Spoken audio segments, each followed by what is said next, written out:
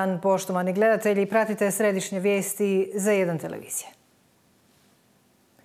Dramatična situacija zavladala je danas u centru Zagreba nakon što se urušila skela i dijelovi zgrade Muzeja za umjetnost i obrt na uglu Klajčeve ulice i Trga Republike Hrvatske. Sa zgrade koja je inače u obnovi pao je dio skele i fasade, te vijenac sa vrha zgrade i urušio se na automobile parkirane ispred nje.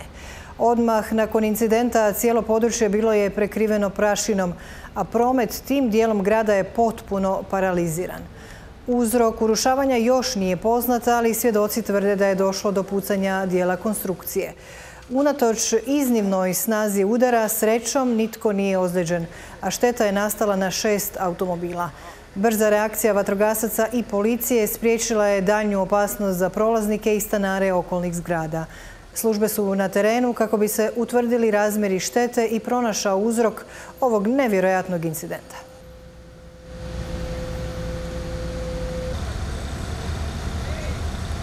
Ja sam bila u trenutku kad, se to, kad je upravo palo jer sam išla na isto takvo jedno gradilište u, na spremište od HNK jer tamo se gradi treća scena, jel? HNK. Pa sam išla i prolazila sam tuda i onda sam vidjela taj moment kad je to se srušilo. Bilo se prašina? Bila je prašina užasna, naravno. Pa došla je do tu, do nas je došla prašina, naravno. Tu je škola Pa je, tu je škola. Imate gimnazije. To je gimnazija, to je sve tu. Ali nije bilo ljudi, nije... Ni... Kažu mi, e, baš djelatnici, srela sam djelatnike od e, MUA, rekli su da srećom nije nitko stradao.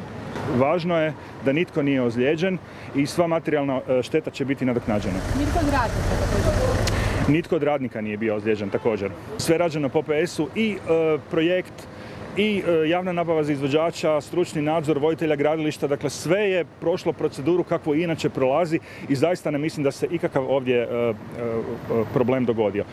Velim, ovo je stara zidana zgrada koja ima taj konzolni element na vrhu koji je s kojim treba pažljivo postupati i koji je isto tako osjetljiv na vlagu. Već evo nekoliko dana je vlažno i pada kiša, tako da vidjet ćemo istraga će pokazati što se točno dogodilo, zašto je taj element oslabio i zašto se odronio. Samo neki savjet za, ljude koji svakodnevno šeću u centru grada, ja ne bih širio paniku, zaista, zaista mislim da je grad dovoljno siguran, da je grad dovoljno osiguran i od strane samih izvođača i od strane gradskih vlasti. Prema tome, evo, ovo je incidentna situacija, ali ne bi nikako to uh, iz toga radio neku generalizaciju. Bio sam bio petak na istom mjestu i izgledalo je sve izvrsno, upravo tu di se sad odlomilo. Mislim, to je nešto što se jednostavno, nažalost, događa u ovakvim zgradama i tu nema, mislim, ovo što je gospodin zamjenik gradonačelnika rekao, gledajte, da sve se radilo po pravilima. I izvođači, i mi, tako da šta je bilo, zašto se to, što je neposredan povod ovoga, to će tek e, se ustanoviti naknadno. Sreća, nikom se ništa nije dogodilo, to je najvažnije. Nažalost, stradilo je par automobila, Bože moj, ovaj, ali ono što se meni čini, što mi se nadam, da ćemo usprkos ovom događaju uspjeti uhvatiti rok koji je već spomenut. Znači, tu radi o velikim novcima koji su jako bitni za uopće obnovu muzeja, u krajnjoj liniji obnovu grada. Dodajmo ovome da je na početku Klajčeve kod Savske ulice zabranjen promet. Ondje vatrogasci još raščišuju teren, a policija radi očevid. Stoga pozivamo građane da izbjegavaju zeleni val u smjeru zapada, budući da je promet na križanju zaustavljen. Promet bi se prema najavama trebao normalizirati najkasnije tijekom noći.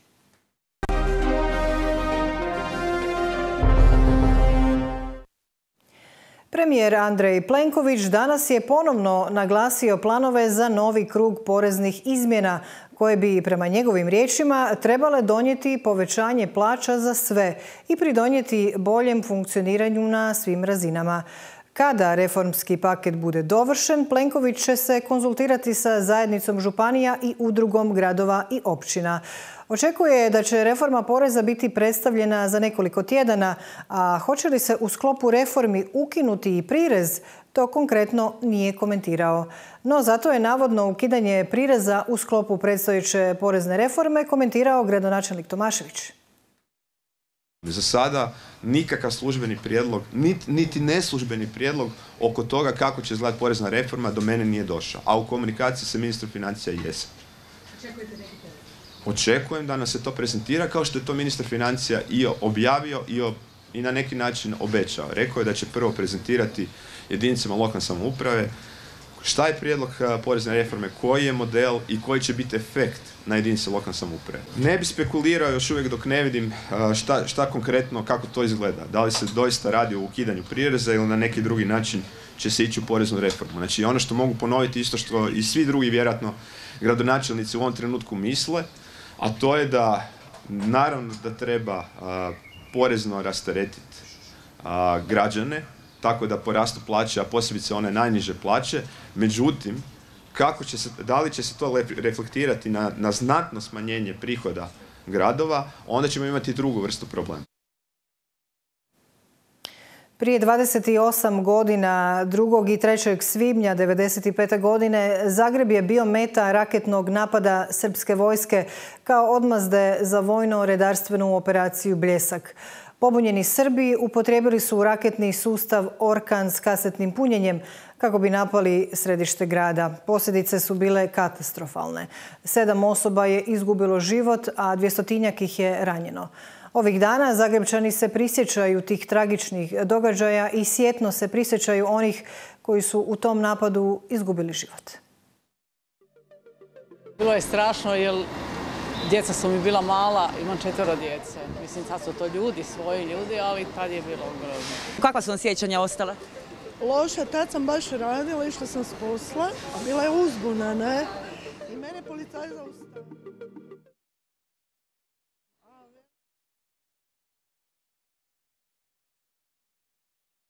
Se šalite, s najpristivom me vladaju, ne? Došla sam do stana i kad sam čula presak, ne? I onda su granatirali Banske dvore. Tad je to bilo to. I poslije sam čula da je ljudi poginulo i da su gore srušili se. Znači, bilo je jako grdo. Gdje ste bili taj dan? A bio sam u Narodnoj zaštiti u obrani grada. I onda kad je ruknulo, bilo je prilično neugodno, iznenađujuće, pošli bljeska i šta reći, evo. Što se od tada promijenilo? Pa dobro, imamo državu, imamo sve, ali nadamo se samo ovaj boljitku svima nama na zadovoljstvo svih nas. Pa grozna. Kaj da Sjećate tog dana? Pa sjećam se, kako se ne bi sjećala kad je gorio tam pred sudom i to sve skupa. Što se od tada promijenilo u gradu? Pa kaj znam, ne, ovaj potres je zapravo zanital sve. Ovaj možda bi e, bilo bolje i išlo bolje da nije bilo potresa. Promijenilo se u ljudskoj psihi ono, strah za djecu, ono, brže telefon zoveš ih, niko se ne javi, nema veze. I čovjek je postao, kako da kažem, više strašljiv na sve. Uopće sad, ja ne volim čuti za rat. Puno toga. Dobili smo ovaj, Hrvatsku, ne? Slobodnu, samostalnu. To je to. Kako vidite razvoj grada Zagreba? Pa moram reći ovaj, da, eto, ovaj, gospodin Bandić kakav je da je bio, dobar dio je to, evo, evo ovo je najbolji primjer ove zgrade, kako to izgleda, kakav god da je bio, neću reći, evo sad se konačno i gospodin Tomašević uhvatio u ono sve što treba, počeo lagano da hvata konce, eto, nadamo se, pa, ma mislim, treba grad napredovati i ljudi da bolje žive. Zapravo, kak da velim, ja sam s jedne strane razočarana. Zagreb je tako prljav, tako je išaran. Mene užasno e, sveta ta išaranost e, tih fasada i to. E, ja ne znam kako da se tome stane na kraj. Onda smetaju me ovaj, ovi išarani tramvaji. Tramvaj treba biti plavi, Zagreb je to, to me užasno smeta i tak, takve nekakve stvari. Pa razvoj se, pa razvija se Zagreb, dobro. Što nam još nedostaje? A čujte, nedostaje, što se tiče ljepote, Zagreb je dosta uredan, ali trebalo bi nam, recimo, da djeca imaju bolja primanja, da ne odlaze van, mladi. Jer sad ostajemo samo mi stari. Grad Zagreb mi izgleda jako zapušten. Zapušten. Što bi vi promijenili, evo da možete? Ja bi to sve htjela urediti, da bi to sve lijepo izgledalo. Ajoj, pa puno toga. Evo, recimo onaj Jaronski most. Ono, poveznice već obećavaju 20 godina, obećavaju sve to ništa, ljudi moraju okolo, naokolo da bi došli do Prečkoga, a recimo to je, ne znam, evo. Osjećate li se sada sigurno u Zagrebu? Ja da. Ja da, bez problema. To, pa to su ovakvi incidenti. Tu i tam, to svugdje ima u svijetu, pa i kod nas. Zagreb siguran? Siguran. Ja mislim da je siguran, Smatrate li Zagreb sigurnim gradom? Pa mislim da je. Što je, je. Moram priznati u svakom, makar u zadnje vrijeme ovi automobili pale se, ne znam, sve to i na tome bi MUP i država trebali poraditi, da, da budemo sigurni. A u povodu obilježavanja 28. godišnjice raketiranja Zagreba na trgu Svibanjskih žrtava 95. gradonačelnik i predstavnici udruge hrvatskih civilnih stradalnika Domovinskog rata grada Zagreba i Zagrebačke županije položili su vijenac ispred spomen ploče. Tog utorka prije 28 godina Zagreb je gorio. Miran svibanjski dan odjednom je prekinula strašna eksplozija. Gospodina Ivana raketiranje je zadesilo u Vlaškoj na radnom mjestu gdje je istradao. Ja sam bio u sobi i pakirao tele ove imenike za, za na poštu poslat. I kad mi je nestalo, ja sam prošao u tom momentu kraj ulaza, ali u sobi. I tog momenta je puklo i mene odbacilo u drugi čošak iza tih telefonskih imenika i tu sam ostao i uspjelo me pogoditi oba dvije noge. U kojima još nosi gelere kao uspomenu na taj strašni dan koji mu je zauvijek promijenio život. Bezumnost tog čina i veselje nekih usjanih glava zbog toga naš sugovornik ni danas ne može razumjeti. Ne mrzim nikoga, ali ne daj Bog nikome da proba. On bi trebao probati kako to je izgleda, koji je, ali to je, to, to je strava i užas. Ljudi trče, to je, nemaš pojma, nigdje nitko nema vojni objekata, nema nigdje ništa. Kao civilni stradalnik, gospodin Hundak od države nije dobio ama baš nikakvu zadovoljštinu, čak niti onu financijsku. Osiguranje sam imao i preko i radio sam. To sam došao na Kroaciju osiguranje za četiri dana, pet dana. Oni su rekli da je to zastarjelo, da, ovaj, je trebalo u roku tri dana se javiti i da poslije nema ništa. A ja sam bio nepokretan, nisam mogao hodati. I tako da nisam ja niti jedne jedine, onda su bili te kune naše, ali nisam dobio niti jedne jedine kune. Ipak nakon svega gospodin Ivan našao je snagu za dalje. Čovjek se mora naučiti s tim živjeti jer drugče vidiš da nema, nema nikakvog drugog izlaza i, i kome god pitaš nešto, oni te ne trebaju, ti si svoje dao i doviđenja. A njihove probleme s kojima se svakodnevno nose saslušao je i gradonačelnik Tomašević, koji je sa svojim suradnicima položio vijence i zapalio svijeće podnos spomenika poginulim građanima. To je bilo prije 28 godina i svake godine ovdje na trgu Sjevenskih žrtava se okupljamo da komemoriramo te žrtve i da one nikad ne budu zaboravljene i da se nadam se, kao što su i govorili predstavnici udruge hrvatskih civilnih stradalnika Domovinskog rata grada Zagreba i Zagrebačke županije, da se takve stvari ne ponove ne samo u Zagrebu nikad više, nego da se po mogućnosti ne ponove nigdje u nijednom gradu u svijetu. Nažalost, rat koji bjesni Ukrajinom dokaz je kako povijest čini se ipak nije učiteljica života. Obilježena je i 32. obljetnica ubojstva 12 pripadnika Vinkovačke specijalne policije u Borovu. 2. svibnja 1991. pobunjeni Srbi ubili su i masakrirali 12 specijalaca koji su pokušavali spasiti dvojicu zarobljenih kolega. Ubijeni su iz zasjede nakon što su u noći s 1. na 2. svibnja 1991. dvojicu njihovih kolega Zvonimira Matkovića i Dalibora Križanovića tijekom redovite obhodnje u Borovu zarobili pripadnici srpskih paravojnih postrojbi. U napadu su ranjena 23 policajca. Na komemoraciji su danas položeni vijenci i zapaljene svijeće, a državna i druga izaslanstva odale su počast ubijenim policajcima.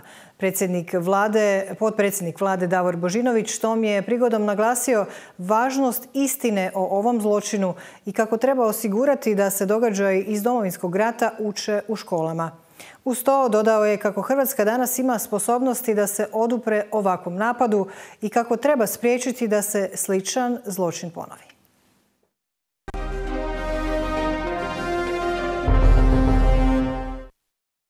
A mi se vraćamo gradskim temama. Gradonačelnik Tomašević obišao je danas i radove na obnovi i trga Krešimira Ćosića.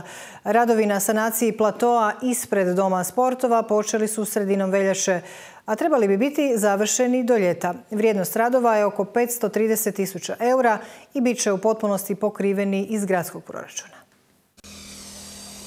Ovo su prvi radovi obnove od kada je trg napravljen, a u funkciju će se napokon staviti i fontana koja već duže vremena ne radi. Uređuju cijeli jedan javni prostor koji je nažalost bio devastiran. Neću vas ni podsjećati, možda se treba podsjetiti zapravo, evo neki od vas i tu žive blizu pa znaju koje su rupe bile ovdje na samim pločama do te mjere da, su, da se sakupljala kišnica maltene u tim rupama i doista bio devastiran trg i dobio je bilo krajnje vrijeme da to obnovimo. Ono što je iza vas, a to je Dom sportova kao multifunkcionalna sportska dvorana, ja bih rekao možda je najbitnija sportska dvorana u Republici Hrvatskoj, a ne samo u gradu Zagrebu, s obzirom na sve sportove i sva natjecanja koje se održavaju u ovoj dvorani. Ono što trebate znati i, možda vas treba podsjetiti da je dvorana velika nije u funkciji još od potresa Znači već više od tri godine. Za konstrukcijsku obnovu i njenu potpuno obnovu trebalo bi izdvojiti 160 milijuna kuna kako bi se dom sportova konačno stavio u funkciju. No grad za to ne može povući iz Fonda solidarnosti. Tomašević se stoga nada i pomoći države. Budući da je ona dodatno oštećena, nažalost je bila zapostavljena i prije potresa, posebice kad govorimo o krovnoj konstrukciji. Ono što je za obnovu Doma sportova potrebno kako bi se stavila u potpunosti sve dvorane u funkciju jer, jer je to kompleks od tri velike i, četiri, pardon, tri velike i četiri manje dvorane. To je projekt od oko zapravo 160 milijuna kuna. A nakon obilaska radova na obnovi trga Krešimira Ćosića, gradonačelnik je održao i redovitu konferenciju za medije. Evo detalje. Što se tiče stanja u bolnici Sveti Duh i dalje nema novih informacija s obzirom na tajnost izvida. Gradonačelnik je kaže u kontaktu s upravom bolnice, ali za sad nema novih službenih izjava. Naravno da jesi cijelo vrijeme. Cijelo vrijeme i što se tiče e, stanja e, popunjenosti rashladnih uređaja, svaki dan imamo izvještaj kakva je situacija. A kako je stanje danas s obzirom na to da je opet prošao dugi vikend? E, Nisu popunjeni svi rashladni uređaji bili preko vikenda. Gradonačelnik je objasnio i da na Jarun stižu nove sjenice i klupice, te stoga svi koji su jučer bili na Jarunu, a nisu ih zatekli, mogu očekivati novu opremu za odmor i druženje. Što se tiče samih e, sjenica, one su bile u toliko lošem stanju da su prijetili sigurnosti ljudi i zato su morale biti uklonjene, međutim postavljeno je više, ajmo reći, stolova i klupica za roštiljanje i, i trenutno je u javnoj nabavi i projekt za izgradnju novih sjenica i to je samo početak obnove cijelog Jaruna. Znači obnovit ćemo sanitarne čvorove, radimo studiju za cijeli kompleks Jarun kako da ga još više unaprijedimo i što se tiče sportskih i što se tiče zabavnih sadržaja. Pokrenuli smo isto tako studiju da se riješi isto tako 20 godina star problem odmuljivanja jezera, da vidimo kako to najjeftinije napraviti, najbolje za okoliš, a s druge strane da nemamo probleme koje vidite sada na Trakošćanu, recimo na Trakošćanu. Dotaknuo se pritom i jučerašnjeg praznika rada. Znači, prema informacijama koje imamo, na samoj proslavi je sudjelovalo oko 50 tisuća ljudi, što je više, u najme ruku najviše ljudi u zadnjih nekoliko desetljeća. Prošlo je sve bez jednog incidenta i evo, tu bih zahvalio svim i gradskim službama i državnim službama, svima onima koji su radili na međunarodni praznik rada, da evo, sve prođe tako dobro, bilo, poslužilo nas je lijepo vrijeme za razliku od danas, tako da smo se jučer izvukli. I evo, evo, stvarno zadovoljan sam time da, da doista je prošlo sve bez jednog incidenta. Građani su bili jako zadovoljni sa receptom, bili su zadovoljni sa glazbenim programom i evo, okupilo se više nego ili ikad ili najmanje više nego ikad u zadnjih nekoliko desetljeća. Na današnji dan obilježavanja raketiranja Zagreba naše kamere posjetile su i spomenik domovini na trgu Stjepana Radića koji spaja osjećaje ponosa, zahvalnosti i pijeteta. Slijedi Zagreb danas.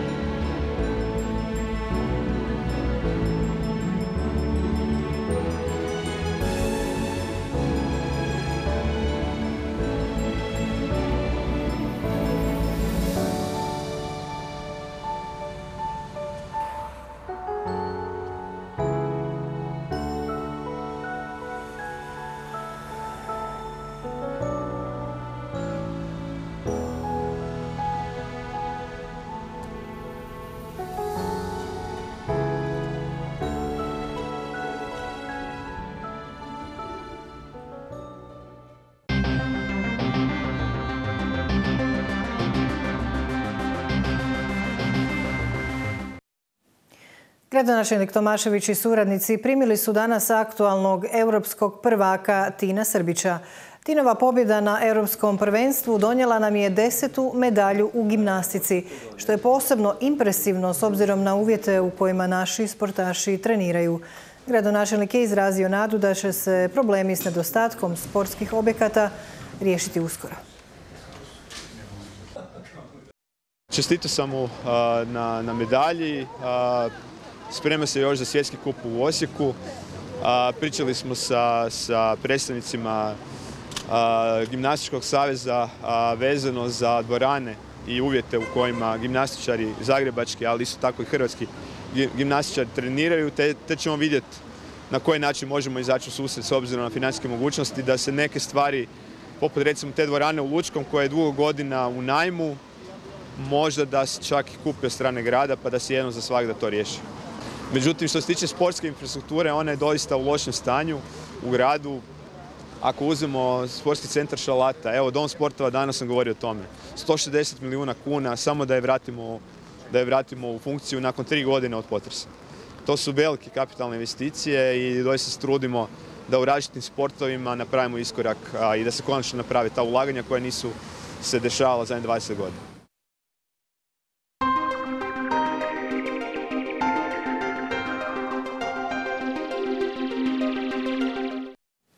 I za kraj o vremenu u Zagrebu je danas prevladavalo pretežno oblačno vrijeme, povremeno s kišom. Vjetar slab do umjeren sjeveroistočni. Temperatura u nastavku dana između 14 i 17 Celzijevih stupnjeva. Evo i prognoze za srijedu. U Zagrebu promjenjivo prije podne i pretežno oblačno, povremeno s kišom. Vjetar većinom umjeren sjeverni i sjeveroistočni. Najniža jutarnja temperatura od 10 do 12, najviša dnevna između 16 i 18 Celzijevih stupnjeva. U cijeloj zemlji promjenjivo ponegdje i pretežno oblačno, povremeno s kišom. Na jugu su mogući pljuskovi s grmljavinom. Na sjevernom Jadranu dijelomice sunčano, puhaće umjeren sjeverni vjetar, na Jadranu uglavnom jaka i olujna bura. Najniža temperatura od 9 do 12, na obali i otocima između 12 i 15. Najviša dnevna većinom između 16 i 21 Celzijevog stupnja. U gorju mjestimice niža. Promjenjivo i nestabilno vrijeme u cijeloj zemlji može kod meteoropata i kroničnih bolesnika doprinositi umoru, manjku energije i narušenoj koncentraciji.